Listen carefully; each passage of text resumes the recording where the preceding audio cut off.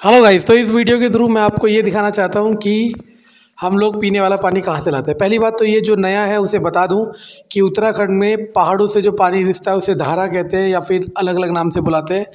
वो पानी इतना प्योरेस्ट होता है कि उसे मिनरल वाटर कहते हैं। मतलब बिस्लरी वगैरह तो उसके सामने कुछ भी नहीं है। तो गाँव वाले इवन हम सब, स्कूल वाले ठीक है ना स्टाफ क्वार्टर्स वाले। यहीं से पानी लेते हैं और मैं जा रहा हूँ बारिश में, ठीक है ना।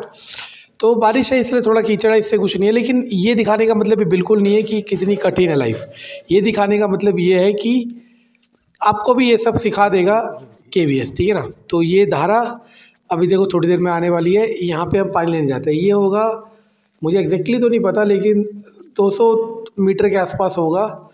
हमारे स्टाफ क्वार्टर्स थे, ठीक है ना? तो यहाँ से हम एक पानी भर के ले आते पीने का और गाँव वाले, और यहाँ पे अगर आप चाहो तो अपने वो प्रिंसिपल सर का क्वार्टर है जो ग्रीन ग्रीन सा दिख रहा है। अगर आप चाहो तो यहाँ पे अपने बड़ कपड़े बर्तन सब धो सकते हो, ठीक है ना? तो ये भी अच्छा तरीका है, लेकिन पानी बेस्ट है। अगर आपको कोई भी पेट की बीमारी हो, किसी भी तरह की, और डाइजेस्टिव सिस्टम से रिलेटेड कोई बीमारी हो, आप ये वाला पानी पी के देखें। जो उत्तराखंड का है या फिर हिली एरियाज़ को जानता है, उसे मुझे डिफ़ाइन करनी ये शिव जी का मंदिर है, ठीक है, पहले भी दिखा चुका हूँ। ये है वो जगह जहाँ से हम पीने वाला पानी लाते हैं। एक दिन में ले आते हैं बीस लीटर और दो दिन चल जाता है, फिर हम इसे पीते हैं, ठीक है ना? तो ये भी दिखाना ज़रूरी था, ठीक है ना? और बिल्कुल भी मुश्किल नहीं है, ठीक है? ठीक है थैंक यू